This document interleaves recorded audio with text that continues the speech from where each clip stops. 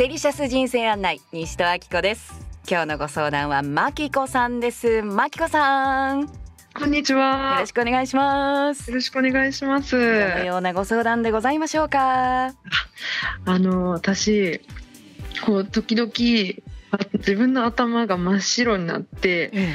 何を言ったらいいかわからなくなる時があるんです。うんうん。で具体的に言うと、ええ。いつもこういろいろお仕事とか教えてもらってる先輩がいて、うん今日あったこととかこうわからないこととかあったら電話とかで聞くんですけどなんかちょっと頭真っ白になって何何が聞きたかったのかわからなくなったりしてうん。で先輩になんか何が言いたいのかわからないからうん。事前にメルメメモとかうん。メルメモとかしてメールしてから電話してって言われるんです。えええ。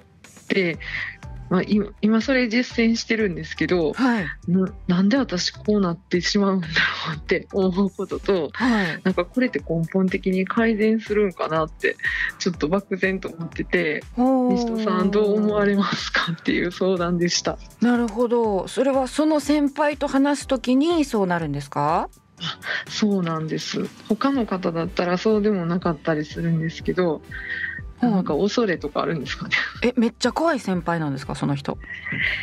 なんか愛はあるんですけど言い方はきついって感じですね。あーだからなんか怖くなっちゃったんですかねじゃあその先輩のことが。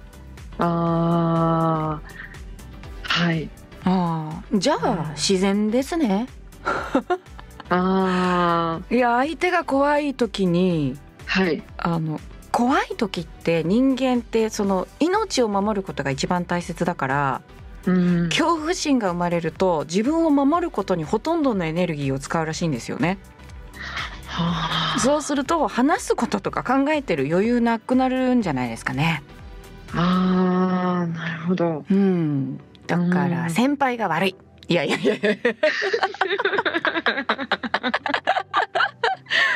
まあだからあのマキコさんだけじゃなくってはい。きっとそういうこうあこの人怖いなとか苦手だなっていう人と話す時だけはい。ちょっとこうしどろもどろになるとか、うん。なんか何言いたかったのか自分でもわからなくなるとか、うんうん。そういう方は多いと思いますね。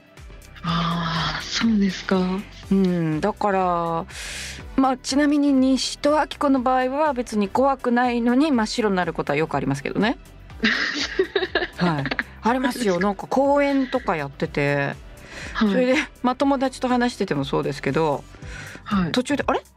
私今何の話してたっけ?」って なるんですよ。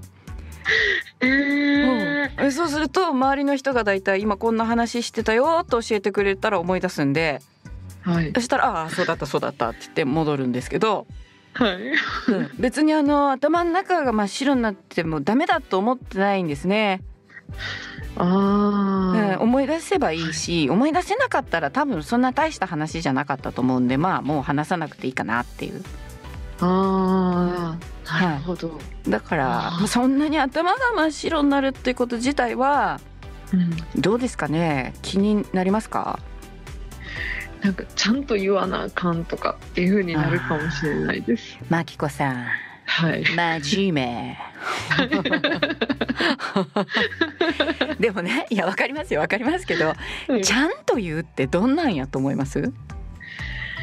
ちゃんと言う、うん。なんかこうな伝えたいことを100%に近づけるっていうんですか、うん。なんかうんそういう完璧なところを 出してるのかマもしれないキコ真面目えじゃあねマキコさんね。はい、100%でなんか伝えたいことをきちっと言える人好き、いやーそれはそんうんなんかちょっと違う気もしました今。は えマキコさんじゃあそうなりたい？あ。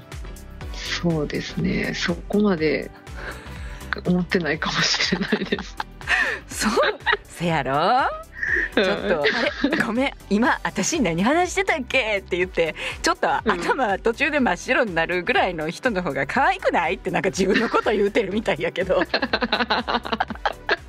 もうあんた何言うてんの？今この話してたやんとかっていう感じの方が楽しくないですかね？そうですまあね。時にはって 時にはってことですよ。分かってますよ。はいそう仕事の時はねやっぱちゃんとね言わなきゃなってなりますよね。そうですそうですね。ね。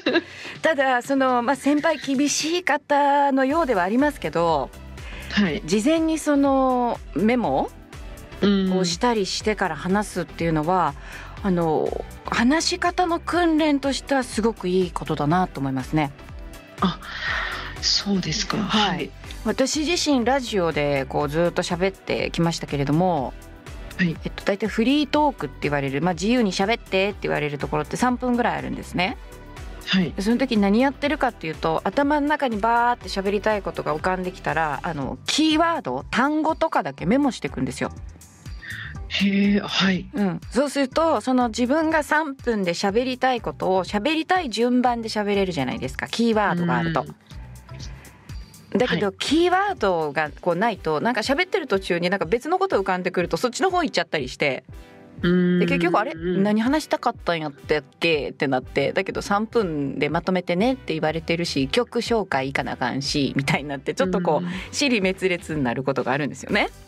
あだから未だにやりますよあの喋る前にメモするって。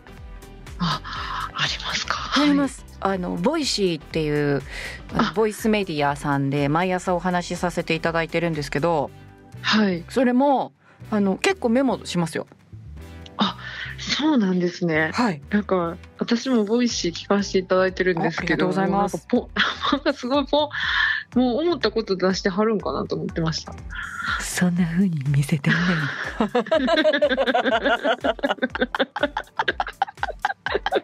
すいません。だからまああのちょっとねあの怖い先輩だとは思いますけど、はいあ。のいい勉強をさせてもらってるっていう意味では、ううんん。先輩にありがとうの部分もあるのかなと思いますね。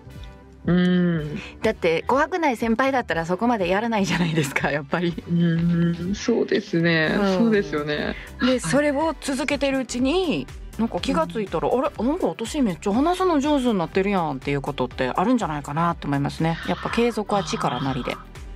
継続ですね。はいそのそのうちにもう先輩より話すの上手になってて、うん先。輩が頭真っ白みたいなねえーどうしよう。そんなんなったら。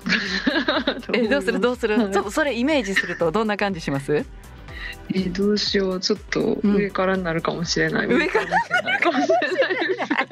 先輩やのに。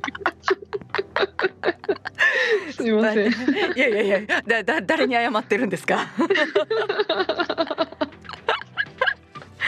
ねそうそうだもしかしたら真紀子さんがそうであるようにはい先輩もちょっと私の方が今話すのうまいし立場的に上やしみたいなんでちょっと上からになってるところあるのかもしれないですね。ああ、そうですね。うん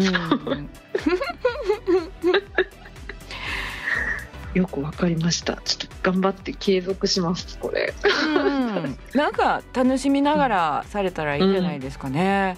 うんあの数字つけてったらどうですか？メモに。すあ1回目のメモとかそしたらもう134回もメモしてるやん私みたいなあ、あ ちょっと励み欲しいじゃないですか先輩褒めてくれます？褒めてくれる時もあります。